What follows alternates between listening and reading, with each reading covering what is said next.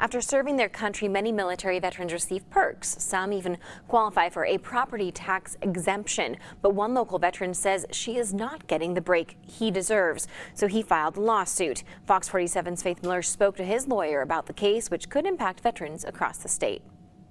James Armstrong served in the Navy just before the Korean War, more than 60 years ago.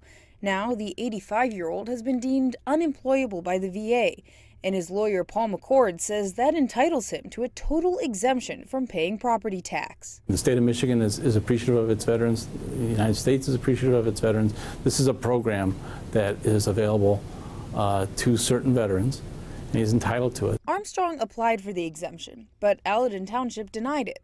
McCord says the township hasn't yet said why, and his firm is helping Armstrong appeal the decision. We took this program, on, this, uh, this, this case on voluntarily because we think it is important to, to be of service to this, to this population, to this group.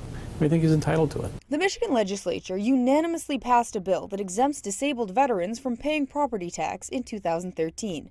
McCord says it's not clear if the disability has to be a result of having served for the veteran to qualify. Armstrong's was not. It's important for not just this individual, but it's also kind of important for the whole broader scheme of what the, what the exemption was meant to, meant to accomplish. McCord says it's important to his client because it could save him about $5,000 a year in taxes. This particular individual is 85 years old, so he's on limited means, so uh, it, it would it would have a large uh, percentage impact. The appeal has been sent to the Michigan Tax Tribunal.